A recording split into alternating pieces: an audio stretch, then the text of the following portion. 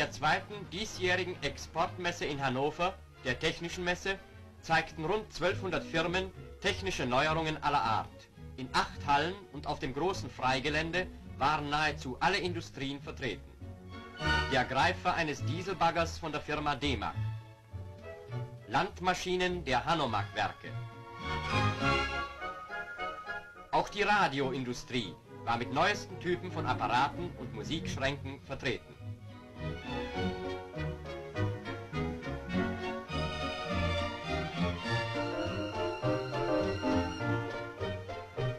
Ein Leis leicht zu bedienen und zu transportieren. Eine elektrische Hobelmaschine.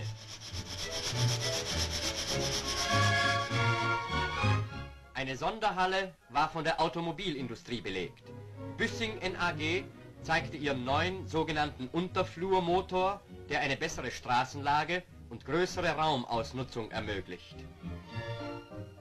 Der neue Borgward Typ Hansa 1500 im modernsten Gewande.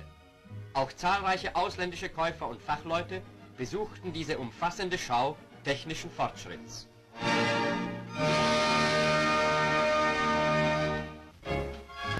Die zum dritten Male nach dem Kriege in Hannover durchgeführte Exportmesse war eine eindrucksvolle Leistungsschau der Industrie Westdeutschlands.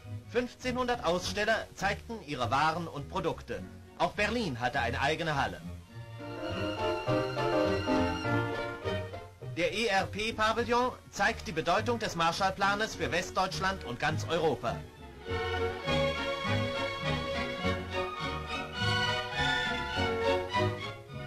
Gegensatz zu den bisherigen Messen sind jetzt alle ausgestellten Waren sofort in genügender Zahl lieferbar.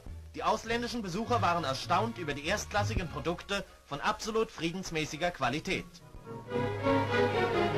Auch die heitere Seite des Lebens ist vertreten. Jedem seinen eigenen Vogel.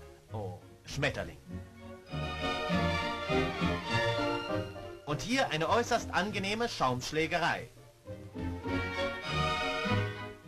An die allgemeine Messe schließt sich Ende Mai eine technische Messe an, zu der sich ebenfalls eine große Anzahl Aussteller gemeldet haben.